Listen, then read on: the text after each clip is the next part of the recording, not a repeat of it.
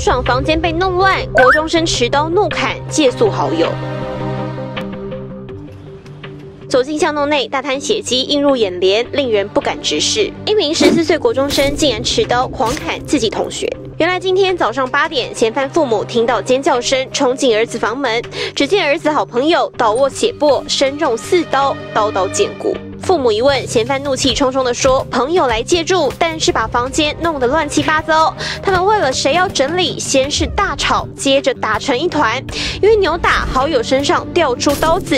嫌犯看到理智线断了，直接捡起来往好友身上猛刺。幸好父母发现的早，紧急送医后没有生命危险。但两人明明是好朋友，感情像换铁兄弟，好友也常常来借住。这一次怎么会住到身中四刀？被砍的学生家长无。”无法接受，提高重伤害，两家人恐怕因此反目成仇。突发中心台北报道。